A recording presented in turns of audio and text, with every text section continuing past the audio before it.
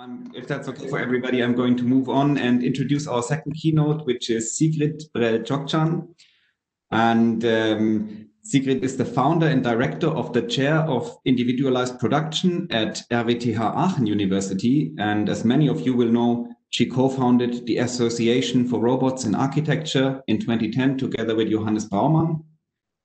Her chair IP focuses on innovative machinery in building production and uh, in order to create an environment that allows for an efficient, individualized production of lot size one, new and user-friendly methods for man-machine interaction are developed.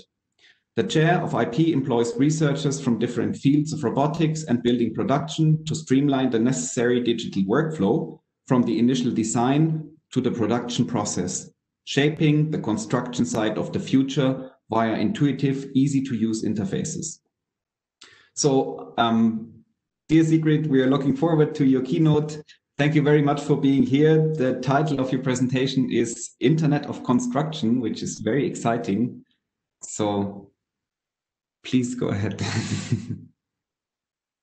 okay. Um, Emma, I'm muted. Yes?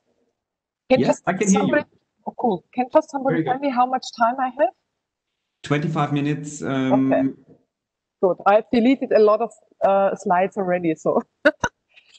Good. Well, thank you very much for having me, and also thank you very much, Kaz, for um, having uh, made a really good in introduction from the architectural side. What I try now is to have a little bit into the um, information on technology. So important is that I just don't know how to click here. Ah, important is that, of course, uh, the results are never done by um, my, by myself alone. So we are always having a big team, and this means that what you see here is our team here in Aachen. But of course, I also want to mention of course, uh, Johannes Braumann, who is my partner in Robots in architecture, who I've been working uh, with for a long time. So, what is the vision of our of of our uh, work at the moment? Is actually we are following a vision at the beginning of the Industrial Revolution, where French artist Villemard actually showed how architects would work in the year of 2000. And this is what you see is that the architect should still be on hold of the whole construction process. So the architect will be in the control of machinery on the building site. And this is also something that we are following in our research and also in our education. So what is important here, of course, is that we have to look first into communication strategies between man-man and man-machine or human-human, human-machine this has, is one of the strategies that we have been also following up with KUKA PRC wireless development, how to actually interact with robots. Um, of course, the next important thing is also that we look into crowdsourcing networks. That means that the idea of setting up the Association for Robots and Architecture as a as an interdisciplinary and collaborative network was just uh, purely um, for the fact that uh, on your own, it like you have a certain lifespan and you do, I don't know, 10, 20 projects as an architect or in, in, in your lifetime, also, also in research. So the idea was how can we actually foster the collaboration that people can work on top of results of other people and that we can grow quicker in this collaboration. So this has happened in the Association for Robots and Architecture. Actually, this year we have our 10th anniversary, and I'm really impressed what has been um, going on in, in, in, like in the whole world, to be honest. So the idea, of course, how can we do that is to, to, to have an, an, a platform where we can actually share uh, our results. So in this case, we have our Vimeo platform and also our in like in the internet on the robots and architecture. So this is really important is how to share because usually people do not show what they have been doing with robots. And this is something that we can share worldwide. And also what we see in our uh, web platforms is that we can actually see who are the users of our information there. And what you can, what I keep showing industry is that actually it is our uh, responsibility how to bring the digital youth into construction, into architecture. So a lot of people between the age of 18 to 34 um, uh, are interested in robotics. And I have to admit that when you look at cars and my age, it's only maybe about uh, between three and, and, and 1% of people who are interested. But these are very often the decision makers. And so we have to bridge this gap in between the people who actually own the technology because they, they are our digital youth to the people who have been doing processes for a long time of their lifespan in a non-digital world. So what is important is the political awareness. So I'm quite engaged in uh, on EU level and also board of directors of EU robotics. Actually, we are just having in the simultaneous time now a workshop uh, on the next roadmap for 2030. And I'm also coordinating a new group on construction robotics in um, in this surrounding. Um, of course, we also need um, a platform uh, to, to, be able to, to publish our scientific work. So I also invite everybody for the uh, Construction Robotics Journal, uh, which is a platform that also bridges different domains from architecture, engineering, mechanical engineering, and also robotics. So let's go back to, to Villemard. Uh, what is the question really that we are asking ourselves is who is driving who? So are machines in driving us as human beings or can we drive machines? And this is uh, also part of the research that we are looking at. And we've realized that how, how can we lower the barrier for everybody with plug and play um, facilitating machines just to be used and just in this case having a normal hand tool being actually uh, mounted to a robot.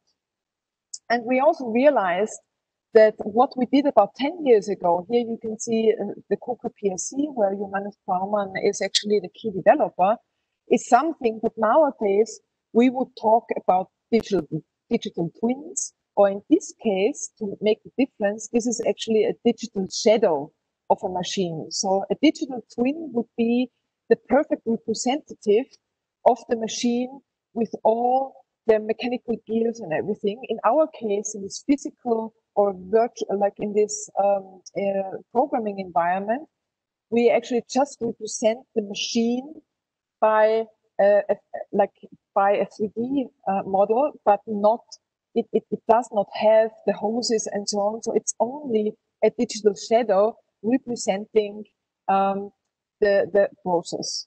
But for me, the, the interesting part was that this digital shadow actually opened up a new generation of architects who could actually just start working with robots without having any knowledge about robotics because through the visualization and through the interaction between uh, path planning, between the machine, between material, between structural engineering and so on, we can actually create a design decision tool for for for a, a machinic interaction in between the design to the production.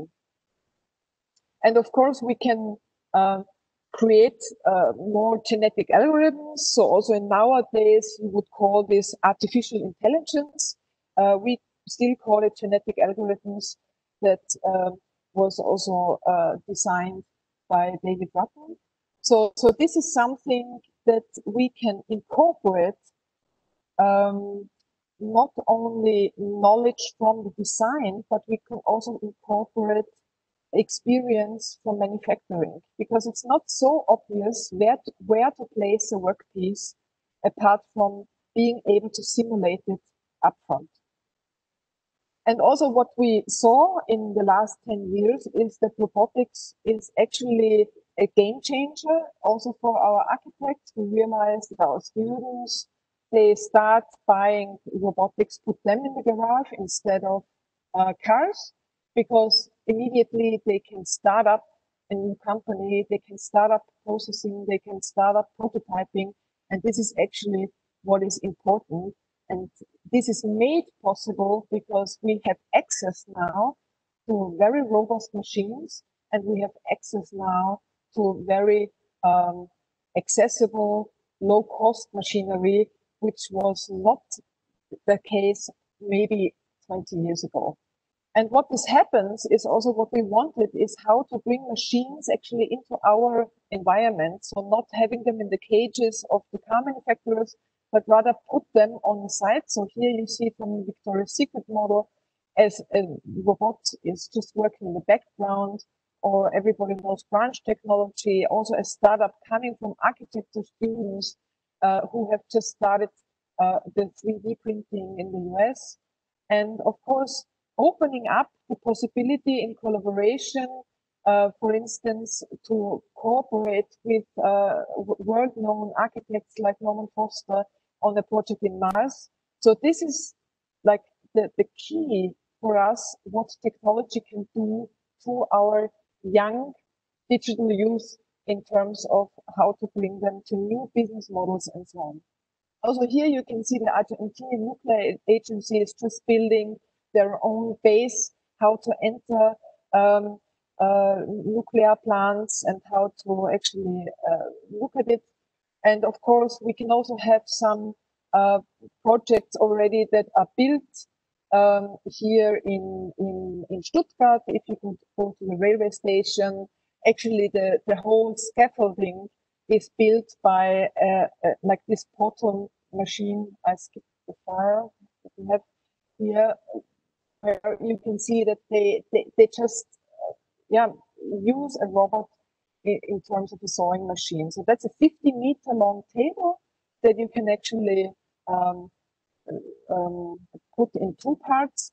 And as you can see, usually these blades are about 80 centimeters to one meter. So that's quite a massive machine. Um, and even though if you go to the building site and when you see the scaffolding, it looks very, very small. So we have a scale factor when it goes to construction sites. And of course, also the idea is to distribute the knowledge of, of robotics and it, we can think about how we can collaborate in production environments in the future. This is one of the results of our EU project uh, Aruso with a web to real interface mockup similar to, I don't know, IKEA platforms and other, other platforms. So, um, what about productivity? So this is also something that we are looking into quite, quite deeply is what about, what is the difference between pre-production and construction? So actually, when you look at the slides, which I, I may kindly use from Smart Build, uh, from our Sweden friends, is that actually pre-production is 50 times more productive than the construction site. And that's why my interest at the moment is really lying on the construction side because if we double the square meter per man hour or per, per people hour, then that means that we can just um, get more productive easily. But what I realized in my career in the last 20 years is that most of the times the digital information um, is not reaching the construction site. So around 1% of our initial planning data reaches the construction site only. Maybe it's a little bit more now, up to 5%, and it's 10% from construction industry. So you also see that very often what we do in our planning phase, which is quite highly digitalized, is more or less uh, getting dumped by industry when it comes to construction. And this is something where I want to bring us architects um, closer again back to the construction side because we are the builders uh, and and we should be interested in how to organize processes and so on. So, so also in Germany, we have a step-by-step digitalization plan. So the idea is first we build digital, then we build real. But of course, everybody knows that things are not happening this way um, as we want to have it happen. Um, so one of the big projects at the moment is the Internet of Construction that we are following here in Aachen. where we try to bridge the knowledge from, from production engineering and transform this knowledge into the construction industry. Um, so more or less, this is the transformation from building information via IoT, so Internet of Things. And the things is not enough when we come when it comes to construction, but to really IOC, which is Internet of Construction. And what is the objective? We are looking at the network along the construction process chain. And also what we want is actually that we uh, extend the BIM integration within a reference architecture model for the construction industry. And of course, as you see here, we have put down all the all the leaks, the data leaks that we have uh, within this whole process. So the idea is how to synchronize and flexible, like and, and, and increase the flexibility in the partial automation of distributed activities along the value chain. And this is what we are looking in with a lot of partners. So this is also something what I have to, to, to say. What is important now in my research is that we extend the network from the from academia to actually industry because without industry we are not on, we are not able to be the game changers. So we have to collaborate together with industry in this in this um, in this way. And of course the goals and expected results will be that we actually draw an information map. Then we think like we, we, we look at the maturity, maturity model and we create a new maturity model for industry 4.0 for a construction industry. And we, we want to, to create the guidelines and for the first time, what is very important for the industry, of course, is how to create a new method to quantify actually the value of our digital design information. Yeah, because I mean, there is a reason why people just dump our drawings and our our digital models very often is that that that, that we can't really quantify the value for industry. And this is like if we if we if we have a key in, in this case to to to make the whole value chain understand that what we do as architects at the beginning is relevant right at the end, then we can actually improve the whole process. And I hope that the architect will become again this this major role in the whole process that um, that we actually um, have to um, yeah deserved sort of. Okay, so so so we are looking into all, a lot of these technical principles, how to actually communicate data. So this is a very main focus at the moment, how to integrate in cloud different devices in the realm of in the Internet of Things. And also my team, uh, together with uh, Robots and Architecture Research, they have actually uh, done the second worldwide experiment now in, in the remote control of people being in the comfort of their home and accessing our robot robot lab here in, in, in Aachen. And this is something that that is interesting because it opens up all of a sudden a totally new space because you do not necessarily have to be right next to the machine while you execute the machine. And I think in the in the in the afternoon they will talk a bit a, bit a bit more about the workshop and also how how this works. And this is something that that the internet and data allows us is actually to to open up space and and and not to be limited by physical space.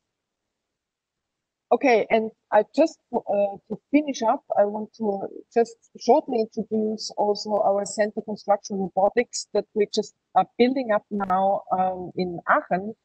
This is now the idea of creating a strong industry network, and and in Aachen we have a so-called campus power powerhouse where certain certain um, uh, topics get clustered and in these clusters, we have certain centers that uh, follow up uh, very urgent society uh, questions and also questions of the future in, in certain areas, in certain domains like construction in this case. And as you can see here, we have quite a big area. Um, so, so this is where I'm sitting at the moment in the large scale robotics hall. And then the white area is actually the new development area. It's it's a couple of hundred thousand square meters where actually the campus gets extended. And in and and what what is important is that we actually cross faculty, like we we break the, the borders in between faculties and and that we actually work with with colleagues in, in structural engineering, mechanical engineering, electrical engineering, and so on. And, and what is also important is to create a living lab that, uh, that all our, our research, different types of research, like industry research, research, sovereign research, but also our, our students of the new master program of construction robotics can actually work together. And this is now the RWTH network. So it's rather a local network that we are looking at but it's especially interesting for us to to to bridge all these these these faculty borders um, and and and have this physical platform. So it's not a digital platform like we have it in robots and architecture. In this case, we are actually building for the first time a physical platform, namely a 10,000 square meters uh, construction site where we actually can can process all our our information. We can link with industry. We can uh, look into virtual commissioning. We can build up a control center and then process all the important um, um, research questions like on-site interfaces, mobile factory, on-site sensors, how to integrate robotic programming or parametric pro programming into the construction site and so forth. So, so as you can see, um, I'm still very focused in our technology development. And, and that's why we also opened up the, a, a new master program. We actually bridge these uh, technology um, developments into the architecture faculty. So, so our faculty is running this program, but it is open for computer science, for structural and mechanical engineering, uh, and probably in the future also for electrical engineering. And sorry to interrupt. Thank you very much. I, am just getting a message. Yes, I think it's the end. a great call to action. Thank you very much for this great lecture. And, and I think it's a great end with this call to action um, with your great master's course for everybody to please apply to. Um, I think we have amazing things uh, to to come from from this big uh, experimental playground which you have there. Is that right? yes. Um, the the interesting part is that we scale up uh, and that humans become very small in comparison from, for the things that we do. So so this is a very interesting. Um, experience because I think very often in our in our world, in our digital world, uh, the, the physics is missing, and this is what we are looking into when we think about really digital twins. We really have to understand um, the the physics uh, for material, but also physics for machines but it also has a little bit to do with this generation gap, right? That you need to get the decision makers on your side, um, as you explained. With um, maybe this is now happening with uh, with the new generation, um, which is a bit more connected to the technology. And um, do you also think that right now, since you've been talking so much about communication being uh, essential, that um, maybe this entire situation with COVID is giving the digital communication a push? For, for yes, of course. I mean, we like, I think that uh, a lot of companies are now looking for solutions, not only due to the fact that uh, less people want to work in construction, but also to the fact that maybe it's not always easy to be in the same room like a machine or in the same space like where you are where you are building. So actually, the world is going to be connected uh, better in the near future. And I really expect that, um, or what we've expected now is that some of the solutions that have not been seen in the last years now all of a sudden get very get very in the focus. So we are also nom nominated uh, for the KUKA Innovation Award in 2021 uh, because because of this um, cloud um, and remote robotics uh, solution that we that, that, we have been able also now to test with eCAADe participants. What was quite fun, I've heard. So so these are things where I see that all of a sudden they are also designing the digital space. Yeah. So we are not only designing the physical space, but we actually also design the digital space, how we want that people work and how, how we want that people live in the near future. One more question, maybe from the chat. Uh, great lecture. Thank you. Um, I see a lot of applications of robots of the arm type, but robots can have many sizes and movement manipulation principles. How do you see that development potential? Um, th that's a very good question. Uh, that is also actually something that we are looking into. Um, I mean, we we teach ourselves with industry robots. Uh, so we use industry robots at the moment uh, for for process developments, but actually we transfer this to uh, other machinery and probably also we will have to design new machines uh, in the near future. The only problem is at the moment that how to bring um, robots from the from the lab that are newly designed into such a fierce environment like in, in construction. And, and so this is still um, a challenge how to how to develop and design robust uh, robots that can can work independently in, in such a big scale. Thank you very much. So again, thanks for this great lecture and sorry for going a little bit over the time. I see Dietmar is uh, on with the camera again. Yeah, um, yeah. Thanks for the great lectures. Uh, thank you, Sigrid. Thank you, Kaz, and especially for the wonderful moderation, Christopher. Um, yeah, we apologize if some people might miss their sessions, but you know, um, it is what it is. We have COVID, and we try to make everything happen. So, please, you know. Um, I just want to make one announcement. Uh, I think we're going to see everybody again at one. So we announced the prices, and then uh, we got two or one more keynote at two with Hensel, and later a wonderful roundtable discussion where we could probably have more questions. And there was, I would like really to close the first session as we run a little bit over time, and I hope to see you later again. Thank you to everybody. Bye bye. Thanks, everybody. Bye.